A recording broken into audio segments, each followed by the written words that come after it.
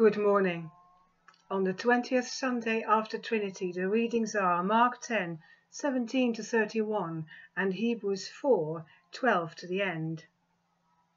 You may be an expert at sewing, that is, in making clothes, or you may never have done any except sew on a button, perhaps, as one of the basic sewing skills.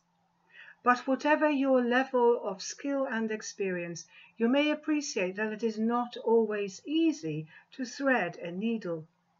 It's a bit fiddly at the best of times, with a thin but very flexible thread and the eye of a fine needle not a lot bigger.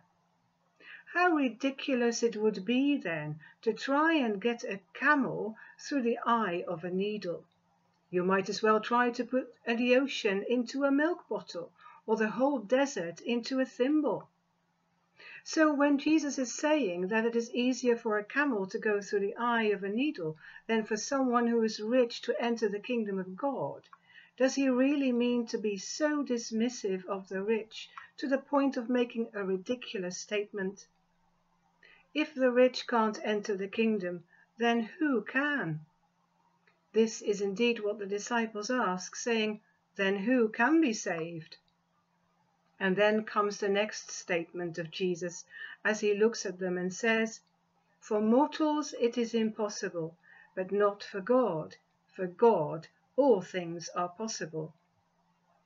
It doesn't seem to help much, as Peter then reminds Jesus of what they have all left behind to follow him.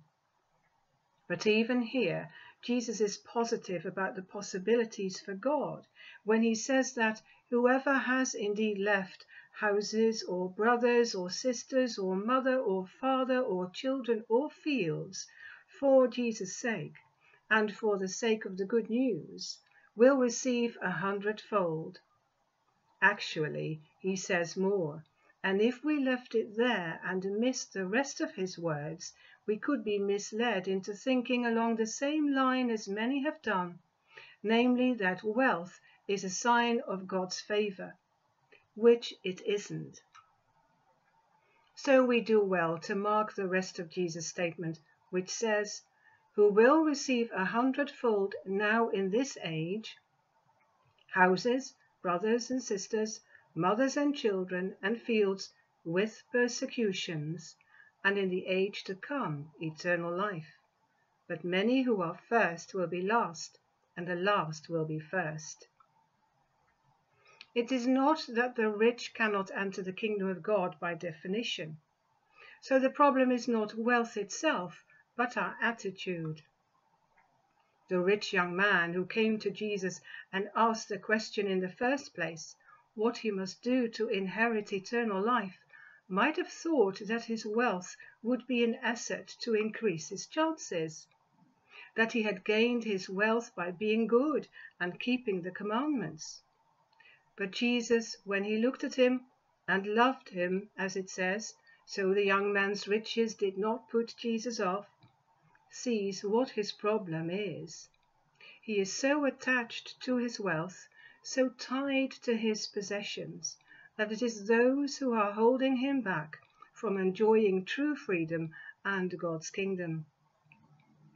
There is a reason for the saying that a shroud has no pockets. Riches, material possessions, cannot go into the kingdom of God. They cannot go into the age to come any more than a camel can pass through the needle. Jesus is stating it like this in a deliberate, over the top way to emphasize the point and to make it clear that it is our attitude to wealth that is the problem. He also teaches what the kingdom of God and the age to come is about. It is, surprisingly, upside down and inside out. The first will be last, and the last will be first. All things are possible for God. Wealth is not the reason why we are called as members of God's family. Our faith is. And yes, there may be very difficult times when we suffer loss, for instance, all in the course of our obedience and living as followers of Jesus. But we will also gain many times more in terms of fellowship with a new family, brothers and sisters and mothers in Christ who offer welcome. Jesus did not just make strange statements that challenge our sewing skills. He lived, taught, healed, died, and rose again to give us life. And our response to his, Come, follow me, is what matters. Amen.